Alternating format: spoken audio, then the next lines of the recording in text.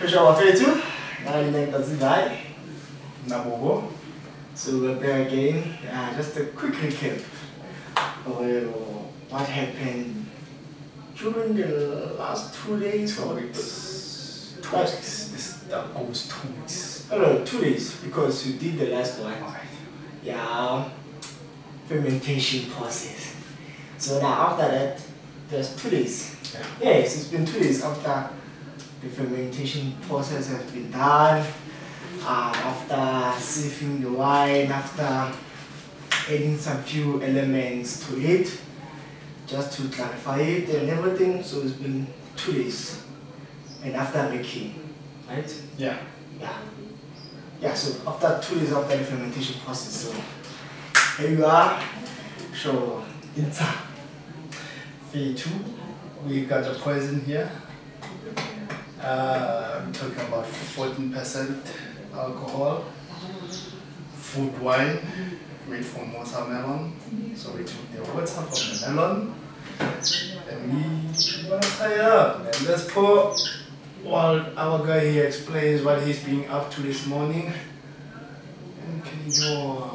So today, so guys, so today morning, uh, we were we raking the wine, uh, so that we can end up with this final product, this clear um, white wine, the final product after raking. That's what is been happening today.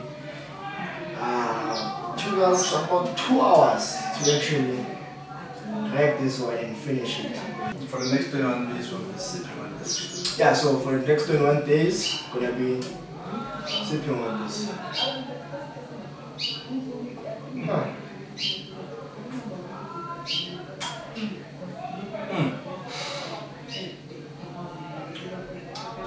A bit dry. It maybe doesn't linger on the tongue too much. It's got a nice fruity melony aroma. A bit of a citrusy taste to it. Mm. Yeah, nice and fruity. That's all I can say. Nice, fruity, and smooth on the tongue. And you can hit it.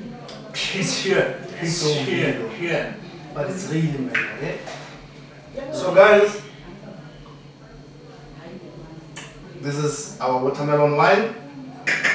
So basically, what we wanna get up to lately now is experiment more with this stuff, right? We've got the watermelon. We're planning to do some beetroot wine as well. And we're gonna see how that comes out. We're looking for a nice red sweet wine. Uh, we've got oranges planned as well. Our citrus wine is gonna come soon.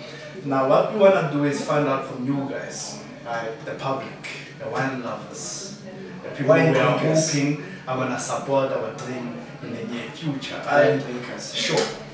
So tell us, firstly, would you be interested in consuming a fruit wine and switch from a traditional grape wine? Yeah. Right? That's the first question. Secondly, what kind of foods are you interested in? It can be a combination of a fruit of two different foods or three, and we will try as much as possible to experiment with it and show you the final product. And hey, man, hopefully you can join us afterwards for a drink as well, and let us know what you think of the outcome of the experiment. Leave the comments below. So whatever you wanna, whatever you wanna know from the process, from ingredients, where you can actually purchase the equipment if you wanna brew your own wine at home. Um, we, we might even post our custom-made ingredient. We just might.